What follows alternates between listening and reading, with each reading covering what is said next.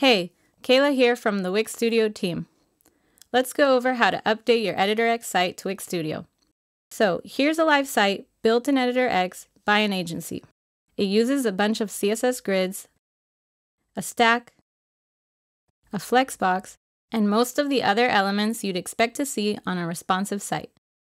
When you update your site to Wix Studio, your live site remains available to visitors at the same domain, your premium plan stays active in the new editor, your dashboard and site settings will be saved, and other site components will stay the same.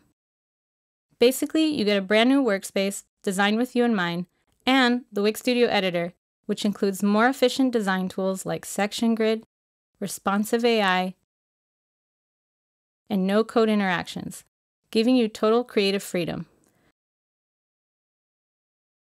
Plus, in Studio, you can choose to use the same measurements from Editor X, or use the out-of-the-box responsive behaviors in Wix Studio. Let's start.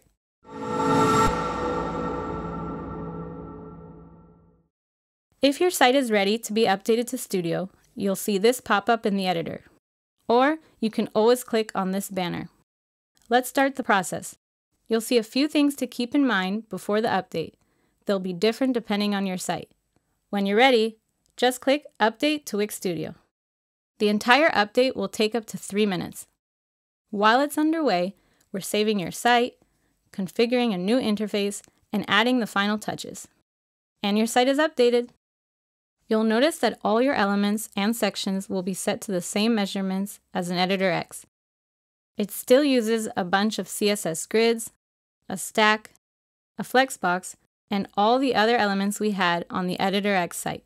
To move to the new responsive behavior settings, head here and click on View. You can set the sizing preferences per element or keep the advanced sizing as is. You can even restore your site to an earlier version and it will remain in the Wix Studio editor. And here's that same site, except now it's on Wix Studio. To learn more about what you can do with Wix Studio, check out the Wix Studio Academy.